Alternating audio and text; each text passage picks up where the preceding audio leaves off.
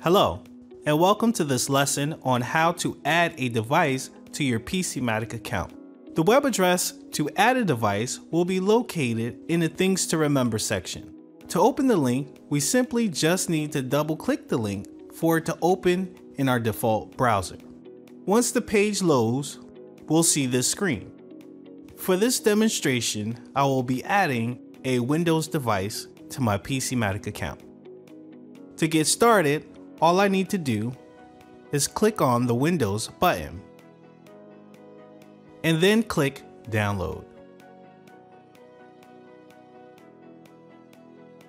As you can see, the file has downloaded.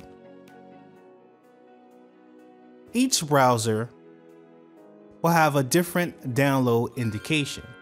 But if for some reason you do not see it, we can go to the downloads folder by clicking the folders icon and then clicking downloads. To initiate the install of PC Matic, we double click the PC Matic setup.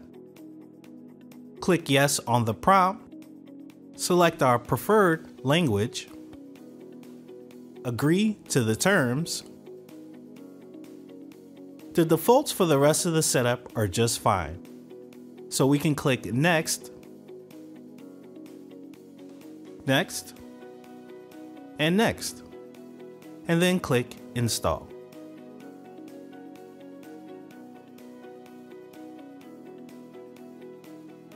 Click finish.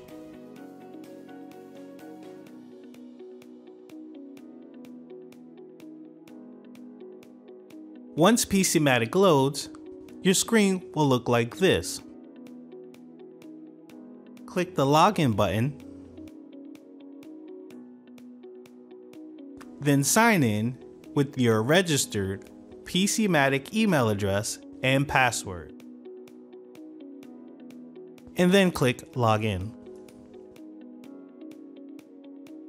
Once we see this page, we click the Super Shield icon and then click Not Protected.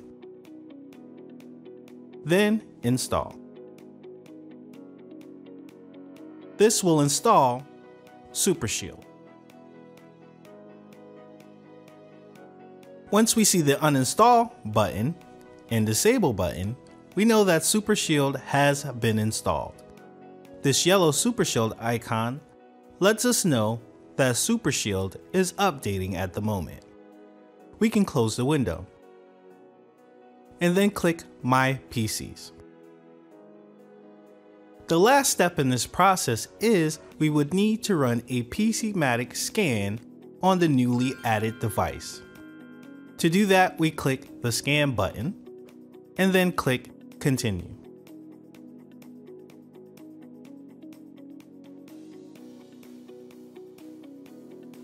After the initial scan, we recommend that you restart your computer and initiate another scan directly after. And that concludes our discussion for now.